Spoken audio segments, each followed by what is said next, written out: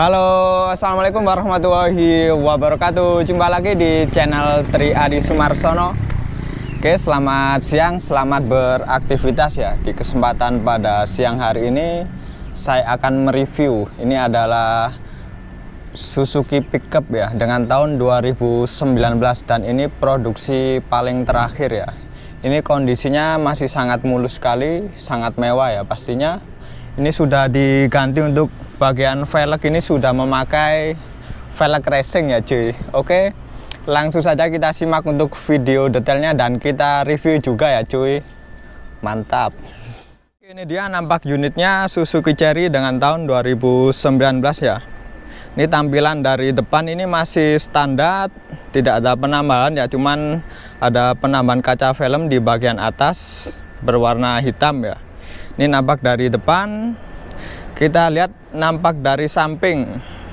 Untuk body-body masih tetap standar semua ya ini coy. Cuma yang diganti ini hanya bagian velgnya ini sudah memakai velg racing ya biar makin ganteng dan makin cakep pastinya. Oke untuk bannya sendiri ini menggunakan ban merek Bridgestone Oke dengan ukuran ban 175 per 65 dan ini menggunakan ring 15 untuk total biaya modifikasi mulai dari ban plus velgnya ini dibanderol dengan harga kurang lebih 6 juta rupiah ya. Ini nampak detailnya. Menggunakan velg Master ya. Oke. Ini nampak dari samping.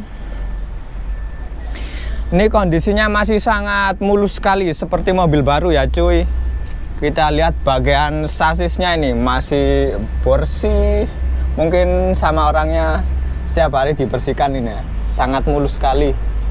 Masih seperti mobil baru. Oke lanjut. Kita bergeser ke bagian belakang. Ini nampak dari belakang. Untuk bagian belakang ini masih tetap standar original ya. Bawaan dari dealer Oke, untuk baknya masih bersih, tidak ada koresan sedikit pun ini. Kayaknya jarang dipakai buat muatan berat ini. Oke, langsung saja kita lihat untuk bagian interiornya ya. Kita buka ya, cuy. Oke, ini dia nampak dari interiornya. Untuk bagian door trim ini masih tetap standar. Ini asli ya, bawaan dari dealer untuk handlenya ini masih manual ya cuy. Menggunakan bahasa Jawanya itu oglengan cuy. Oke lanjut. Kita bergeser ke bagian interior. Oke ini dia nampak dari interiornya. Untuk kemudi ini masih tetap standarnya. Untuk dashboard masih tetap standar tidak ada perubahan sama sekali. Lanjut ini double dinnya masih asli ya original. Untuk cup holdernya ini masih fungsi. Untuk laci dalam.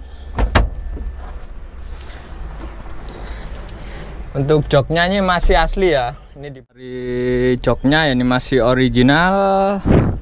Masih bawaan dari dealer ya ini masih dibungkus plastik. Oke mungkin itu saja yang bisa saya sampaikan untuk bagian interiornya ya